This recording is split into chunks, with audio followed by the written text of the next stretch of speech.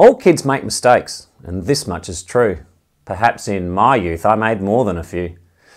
The teachers said quiet, a little bit shy, but us quiet ones are trouble, and I'll tell you why. Being the youngest child, of in my case three, my parents didn't always keep their eyes on me.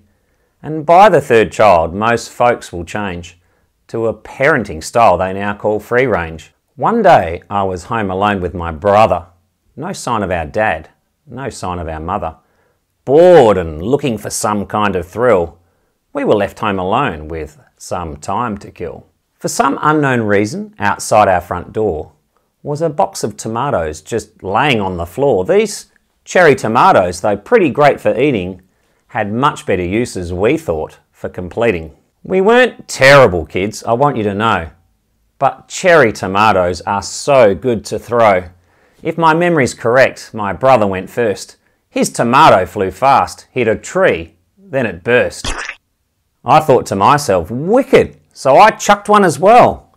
It sailed through the air as I called out, Farewell!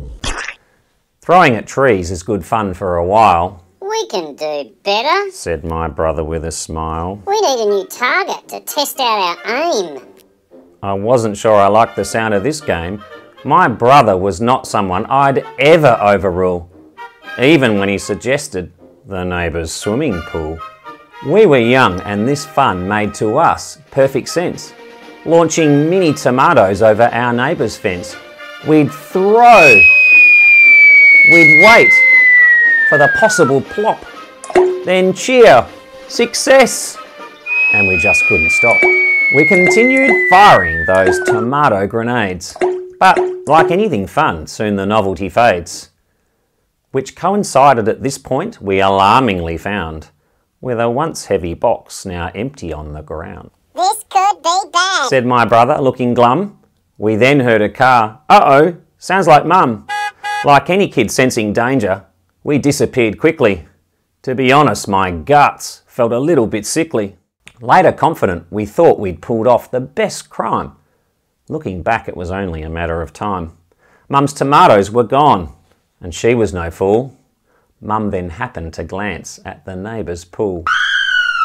We knew it was coming by the look in her eyes. This was no time for denial or telling of lies. We owned it. We kinda knew it was wrong. Tomatoes in a pool? It's not where they belong. We were made to apologise to our neighbours that day and collect up the bombs that we had thrown away. I do think of life as runaway felons. If instead of tomato, we'd thrown watermelons.